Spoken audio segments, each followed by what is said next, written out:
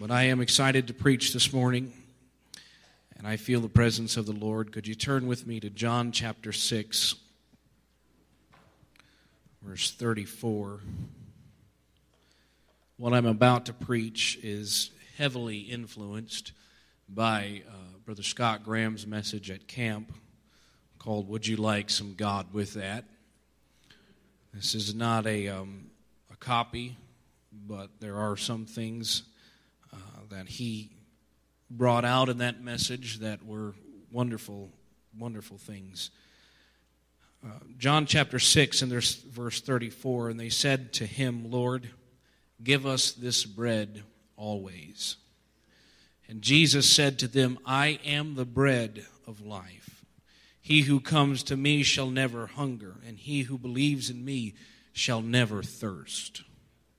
What a wonderful statement from Jesus Christ. I want to preach to you under this title for the next couple of moments Symptoms of the Starving. Symptoms of the Starving. Let's pray. Lord Jesus, we come before you right now, God. We we pray, Lord Jesus, that your anointing would be upon me. I pray, Lord, in Jesus' name, that you would help me, Lord Jesus, to preach this message that has been upon my heart for weeks now, Lord. I pray in Jesus' name that you would speak to your people, that you would speak through me, God. I need an anointing that comes directly from you, Lord Jesus. For without this anointing, God, it is nothing more than just oratory. God, I pray in the name of Jesus that you would help me to preach in the most apostolic manner possible. In the name of the Lord Jesus, we pray. I thank you, Lord God, for what you will do, God. In Jesus' name we pray. In Jesus' name. And everybody say, in Jesus' name. Amen. God bless you. You can be seated. Symptoms of the starving.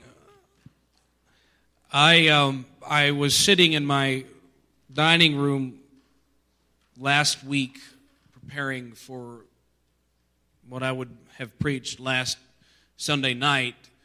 And this title came to me, and it's one of the very few times in my life where God has given me a specific title, and it was easy for me to find what He was trying to say.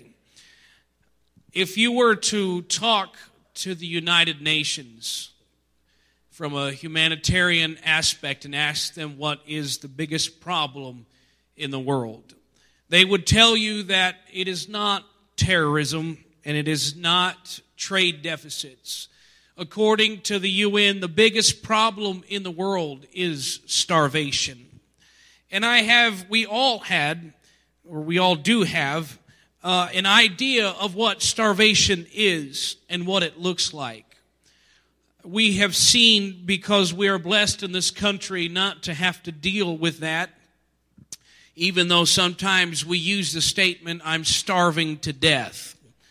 And uh, the, the things I'm going to talk about here do not apply to you if you've fasted. You're not starving if you're fasting. Um, I, the, the, the longest I've ever made a fast was about three days. And after that, I thought I was going to die. But what I'm talking about is, is actual starvation. There's a, there's a, a distinct difference between being hungry and being starving. Um, the, the things that we're used to seeing, we're used to seeing, there, there's two images that really stick out in our minds when we think of starvation. One is the, the image of the Holocaust survivors when they were um, when they came when they were liberated through uh, the the forces of the Allied powers in World War II. We're used to looking at those pictures and seeing those those poor people as they were completely emaciated and they they were were not they, they were barely hanging on to life. Uh, the other image that we're used to seeing, and, and I, again, I mean no disrespect by this, is the small African children with bellies that are bloated out. And, uh, and we're used to seeing them in these horrible instances where there seems to be no food. And, um, and those are the two typical ideas that we have when we say starvation. Those are the two things that we that garner the images that garner in my mind at least when we talk about famine and and those that that shortage of food. The the symptoms of starvation are very very clear. What happens to your body after you reach a certain point is there is a shrinkage of your vital organs as your heart, lungs, and reproductive organs begin a gradual loss of their functions. There is chronic diarrhea, there is anemia, there's reduction in muscle mass and consequent weakness. Lowered body temperature ex- combined with extreme sensitivity to the cold. There's decreased ability, this is interesting, to digest food because of lack of digestive acid production. So it's possible for you to be starving and then eat and then die because you've just eaten. It happened quite a bit in the concentration camps when the, when the Allied troops would come through. These people were so hungry and so starving that they would give them too much food and they would not wake up in the morning because they died because they did not have the ability to digest food irritability and difficulty with mental concentration, immune deficiency, and swelling from fluid under the skin. Complete starvation in adults leads to death within 8 to 12 weeks in most cases. In the final stages of starvation, adult humans experience a variety of neurological and psychiatric symptoms, including hallucinations and convulsions, as well as severe muscle pain and disturbances in heart rhythm. In children, chronic malnutrition is marked by growth retardation. Anemia is the first sign to appear in an adult. The swelling of the legs next is due to a drop of the protein in content of the blood. Loss of resistance to infection follows next, along with poor wound healing. There is also progressive weakness and difficulty swallowing, which may lead to inhaling food. We understand what that means that you cannot actually get food to your stomach, it, it, it is inhaled into your lungs because you cannot swallow properly. At the same time, the signs of specific nutrient deficiencies may appear. Medically, you're considered starving when you've lost 30% of your body fat. Some studies indicate that once you lose 40% of your body fat, death is inevitable. And so, starvation is a very serious ordeal. And what I, the thing though that uh, shocked me the most about starving people isn't that they don't have any food. Starving people actually do have food. The problem is that starving people don't have the right kind of food. And so, this image that we talked about earlier of the small child with a bloated stomach, that is a, a result, or that is a condition called, and, and bear with me, quash, kwashiorkor. And what it means is that they have superior malnutrition based on eating only the wrong kind of food. And it results from a food that is only based on rice and corn. And so the interesting thing is the, the first thing that everyone wants to do for starving children in Africa is give them rice. And that is the reason why they're dying, is because we're giving them rice and nothing else. And so I began to think of that, and it was moved completely. You, you cannot look at those pictures and you cannot read the stories of the starving people and not be moved. There's, there's something inside of you that's dead if you aren't at least moved a little bit by the, the, the images of these starving children. The one that stuck out the most to me was this, this poor African child that was still alive and, and he was laying face down in the, the ground to get a little bit of rest. And right behind him was a buzzard just waiting for him to, to die so that the buzzard could feast on his poor little corpse. There are symptoms of starvation. And I do not want to hijack the cause of world hunger to preach a message here this morning. But I realized uh, that the UN is absolutely right, that the worst problem in the world is both physical starvation and also spiritual starvation. That, that people in in all of in all that they are even if they're well fed physically if they are not well fed spiritually then they're going to start to exhibit specific symptoms and I, I want to let you know that there is a way out of starvation here this morning. I began to look at the, the physical, the physical um, symptoms of starvation and compared them with the, the spiritual. Shrinkage of vital organs such as the heart, lungs, and reproductive organs, and the loss of the, the gradual loss of their functions. Spiritually, if you're starving, you're going to lose love and compassion your ability to reproduce yourself in the church is going to go away. You are starving spiritually if you cannot look at the lost people of this city or this world and be moved. You are starving spiritually if you cannot feel the cry of the lost. There is something that is desperately wrong with the apostolic young person, apostolic old person, apostolic middle-aged person if they cannot stand in the midst of lost people and be affected just a little bit. The lost are starving. The lost need God. The lost are, are desperately searching for something. There is a reduction in muscle mass and consequent weakness in a physical starving person. But in a spiritually starving person, there is an inability to cope with temptation. There is weak resolve and lack of commitment. That in a spiritually starving person, there is no ability to stand against the wiles of the devil. That they are incapable of a prayer life because they have lost the muscle mass to get down on their knees and pray.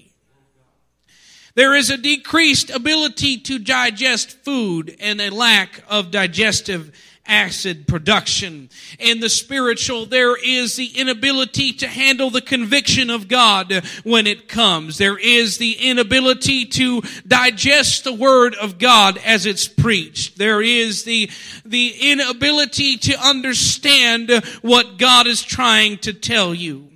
There is irritability and difficulty with mental concentration there are in the spiritual bad attitudes and difficulty to focus upon the important issues of redemption and reaching the lost.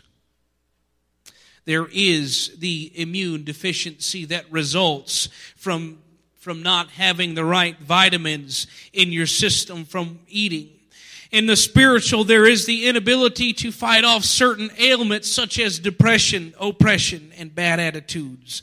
And because of this immune deficiency, the idea of unforgiveness and bitterness starts to take root in the life of a spiritually starved person.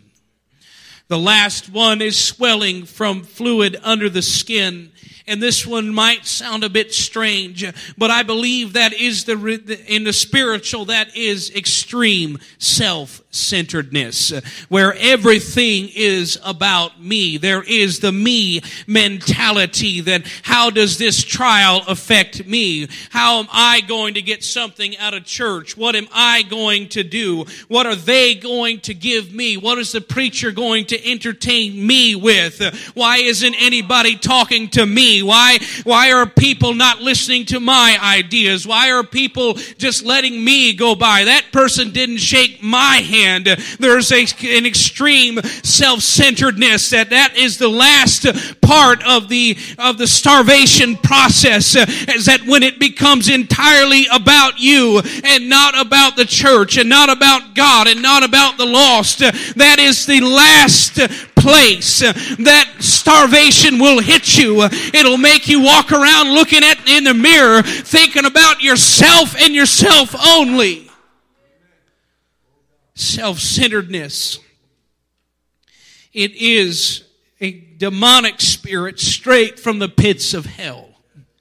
It's all about me. What can I get out of it? But I'm here to let you know that there is a way to get out of starvation here this morning.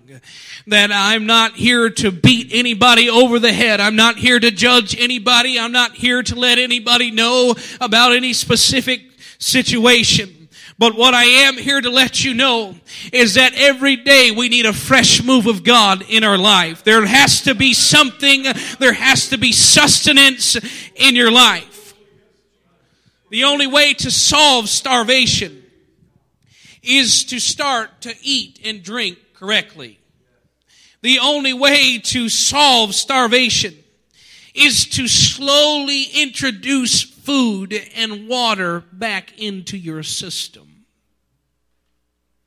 And so I'm here to let you know that there is a way to slowly introduce the right kinds of things into your system.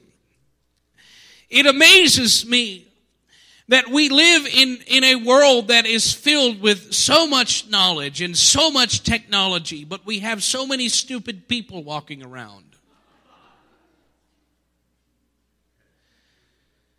We have learned quite well that what you take in your physical body will have an effect upon you.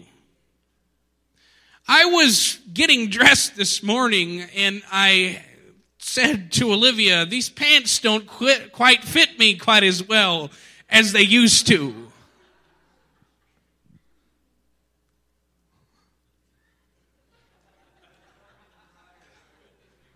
Somebody say number one at Wendy's. That chicken sandwich that I had last week was coming to talk back to me. We've learned that what you take into your body is going to affect it. And that's the problem with those starving little Biafra children with those bloated bellies. They're taking the wrong kinds of things in. I'm here to let you know that we live in a world that is replete with all kinds of things to take in, but none of it is the right stuff. We live in a world completely obsessed with entertainment. Now, this is going to hurt. Completely obsessed with entertainment. We talk about how bad the economy is, but let there be a real good movie come out in the theaters and the American people shell out about $40 billion. Where'd it come from? We talk about having a national debt. $16 trillion and growing every single day exponentially.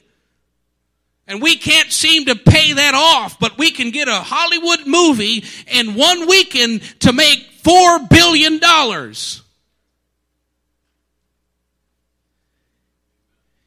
It's the wrong stuff. People that whatever spirits you entertain, you're going to be like them. Let me just, just echo a word of warning here to you tonight. If you always entertain yourself with worldly pursuits, that's what you're going to be like. If all you ever do is sit down and watch Netflix, you're going to start to take on the properties of whatever it is that you're ingesting. If you sit and listen to worldly music forever, you're going to take on the properties of that which you are allowing into your life. I, it's not comfortable, but if, if that's what we do all the time, we're going to wonder why we're spiritually starving. There has to be a word of God in our life every single day. I'm reminded of what, G, what, what Satan told Jesus in, in Matthew chapter 4. He said, If you're the Son of God, command that these stones be turned to bread. But Jesus answered him and said, It is written, man shall not live by bread alone, but by every word that proceeds out of the mouth of God. Satan was trying to get him to look at the temporal things. Have a little bit of entertainment. Have a little bit of, of ease. Have a, just a little bit, just, just sit down and don't do anything. Just, just make it all right. Just relax a little bit, Jesus. The temporal was calling.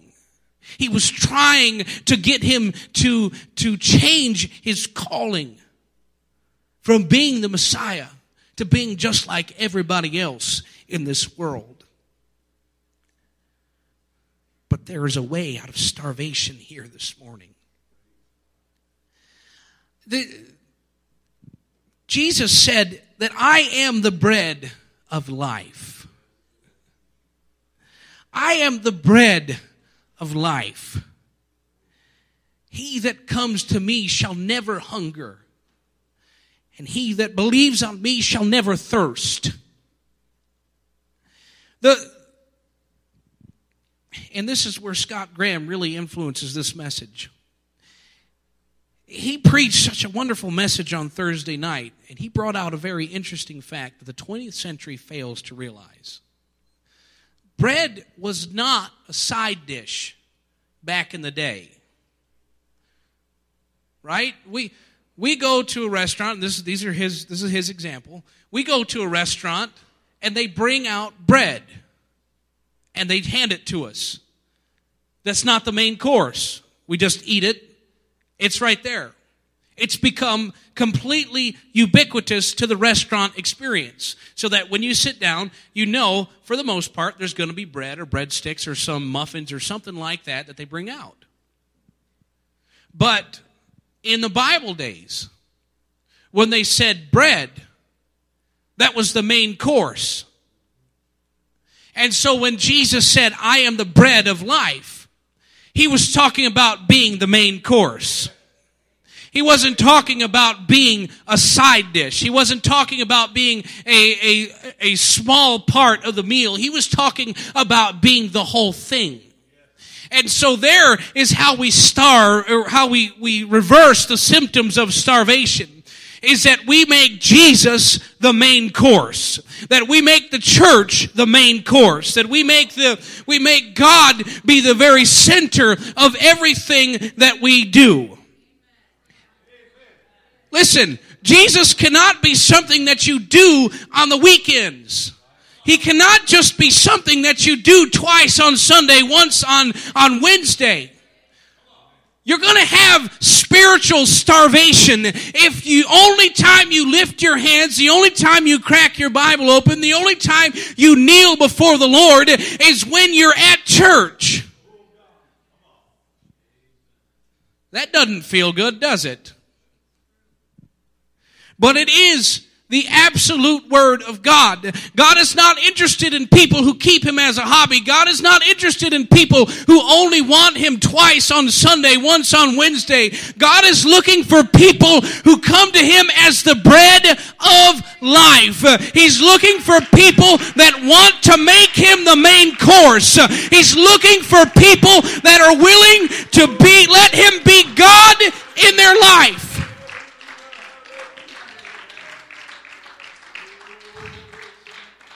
Spiritually starving people cannot save the world. Spiritually starving people cannot pray for the sick.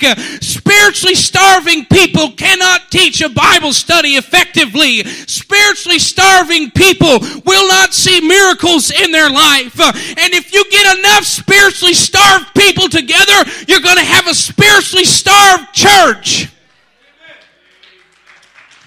I don't want to go to a spiritually starved church. I don't want to be a part of an anemic body of Christ, but I want to be part of a strong apostolic church that has no hunger in its soul, but that for Jesus Christ.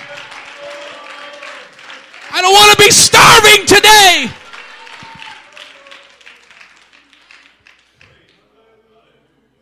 When we begin to replace the moving of God for the right song, when we begin to, to hope that the slides look correct more than we pray about what's on them, when we begin to replace the anointing with emotion, when we begin to, to hope that a program will do what God should be doing in the first place, you can guarantee you're sitting in a spiritually starving church. But I'm happy this morning to tell you that there is no need to be starving in this church. There is no need to leave this place spiritually hungry. There is no need to this morning uh, to think that you could walk out of here with a void in your soul that cannot be filled. Jesus said in Matthew chapter 5 and verse 6, Blessed are they which do hunger and thirst after righteousness, for they shall be filled. Starving people have a need in their life. Starving people have an emptiness in them. There's a, a God-sized hole in everyone. And you can try and fill it with anything you want, but it doesn't work. And that, I believe, is the reason why the world is in such an awful state that we find it in today. Crime has become rampant. Families are dying. Countries are being plunged into sinful practices. We have the, the breakdown of the family unit. Because instead of keeping the bread at the middle of their life, they put it off to the side and search for other things. I'm here to let you know that if you hunger and thirst after righteousness, you shall be filled. But if you're willing to put righteousness off to the side and hope that you'll eat it while you're waiting on the main course, you're never gonna be filled. I'm here to let you know this morning that you can be filled, that you can can be set free, that you can walk out of this place uh, completely full of the Holy Ghost, uh, but not if it's just another side dish, uh, not if it's just something sitting off to the side that you save for when you get a grumble in your stomach. The spiritual food that I'm talking about is the Word of God. It is the Word of God that will change your life. It is the Word of God. And I don't mean to take away anything that we do as a church. Please don't misunderstand what I'm about to say. It is not only the singing and the wonderful presence that we feel when we begin to sing and exalt the name of Jesus Christ. That's wonderful. We need that. You can't have the Word of God without that. But it's the Word of God that changes. It is the Word of God that sets free. That's why Jesus said that man shall not live by bread alone, not the temporary things that we do, but by every word that proceeds out of the mouth of God. There has to be a fresh word of God in your life every single day. Every single day. You have got to get a hold of God every single day of your life. There has to be this experience with God. The Israelites were, were wandering around the desert for 40 years. They, they had no idea what they were going to eat, what they were going to do. But the Bible says that there was manna that came from heaven every single day, except for Sundays. They would have to save it on Saturday for twice, you know, for the most part, every single day. There had to be manna in their life. And if they didn't get out of their tent in time to go get it, it would be gone. They could miss their chance at getting what God had provided for them. I think it would be a travesty for anyone to leave the service still empty, still starving, still searching about for trying to trying to fill that void that's in their life trying to to find a way to put a to put a, a square peg in a round hole. It doesn't work. That's what's that's what what we try to do when we try to fill this emptiness this hunger for god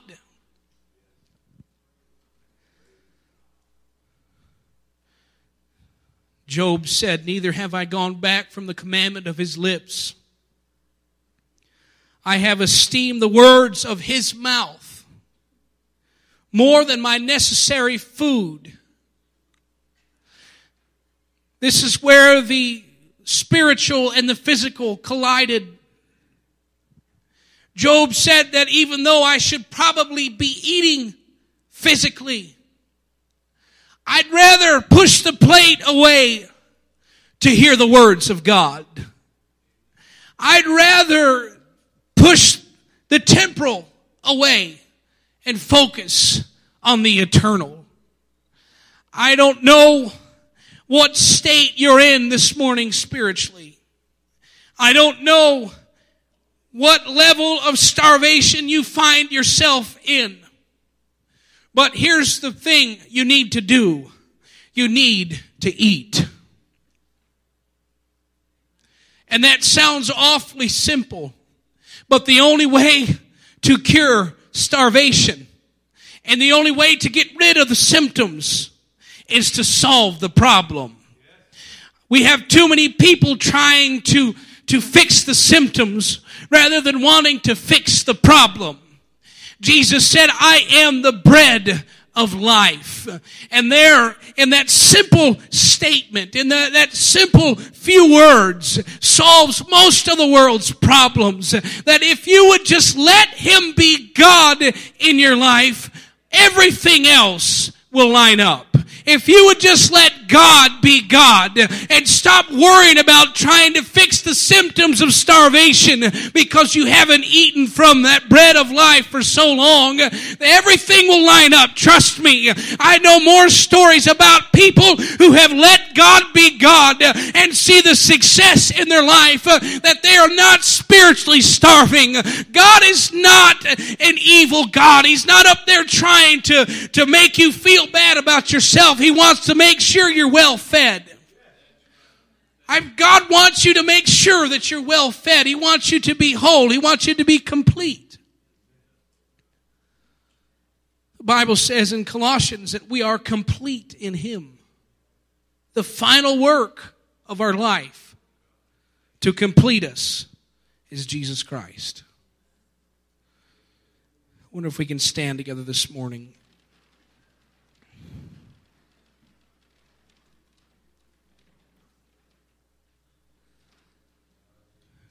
They said unto him, Lord, give us this bread always. He said, I am the bread of life. He who comes to me shall never hunger, and he who believes in me shall never thirst. We are human beings this morning. We require input to live. We require external forces such as food to sustain ourselves. But we have this God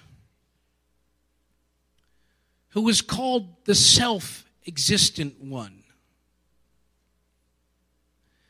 The word Jehovah means self existent one.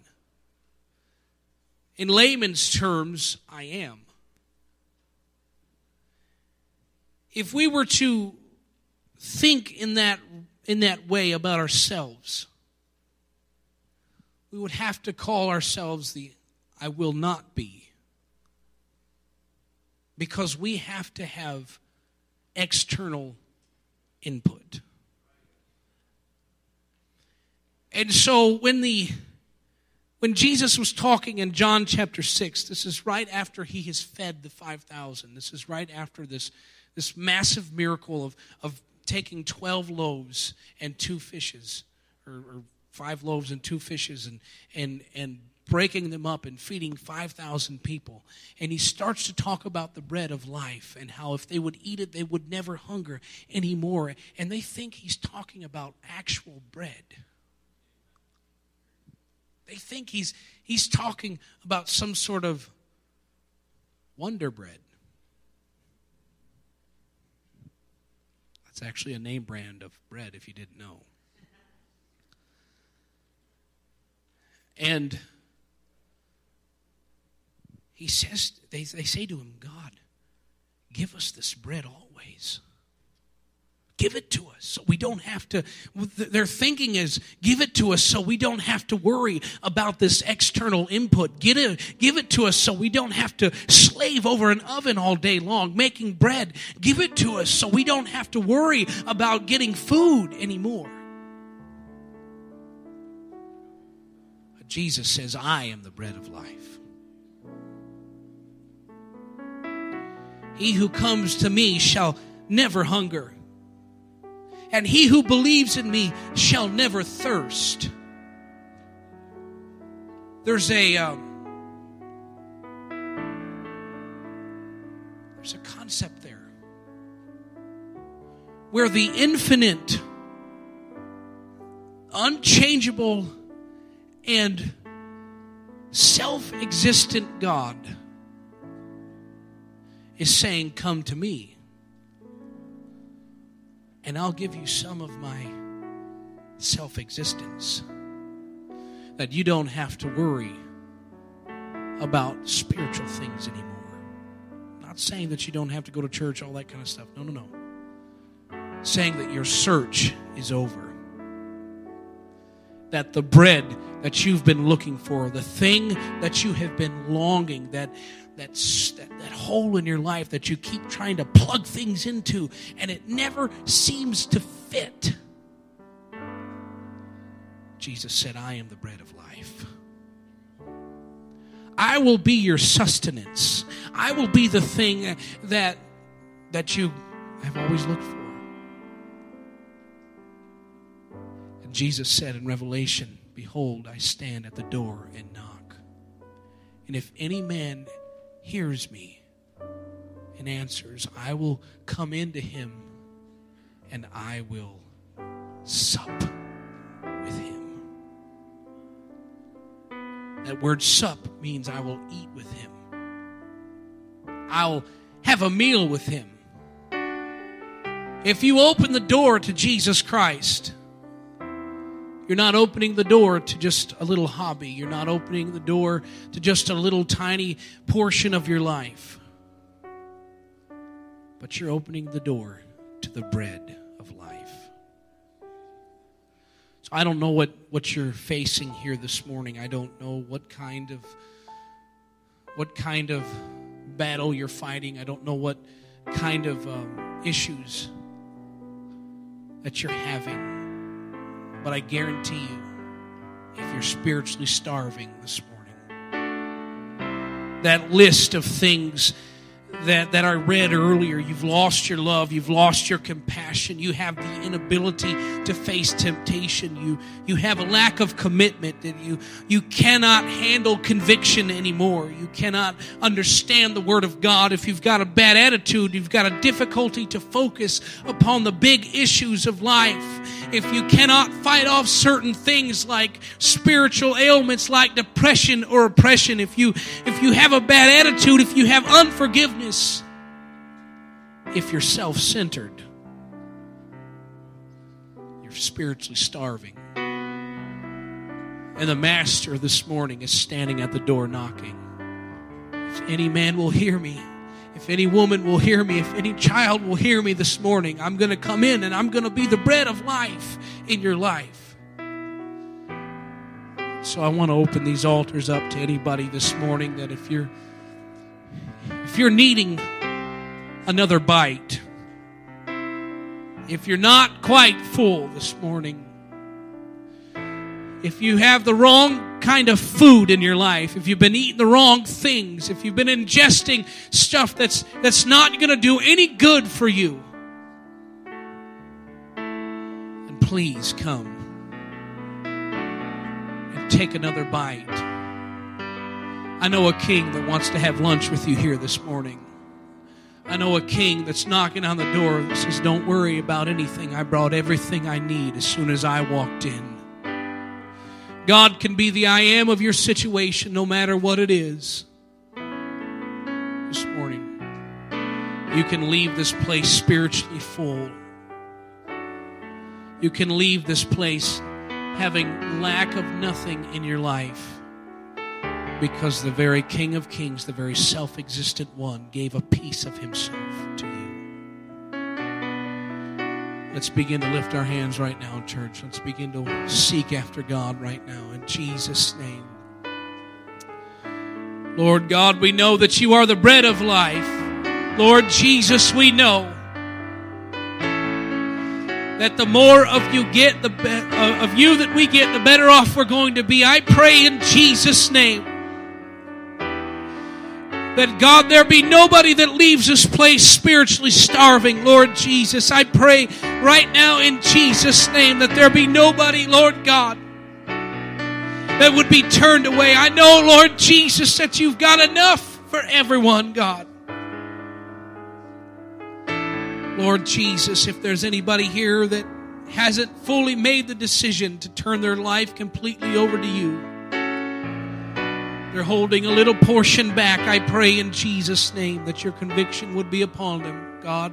And Lord Jesus, in the right, loving way, Lord Jesus, you would gently remind them that you paid it all on Calvary, Lord Jesus. Amen. Won't you come? Won't you come and eat of the bread of life this morning? Won't you come and say, God, you are my God. You're the only reason why I live. You're the only reason why I exist is because the bread of life.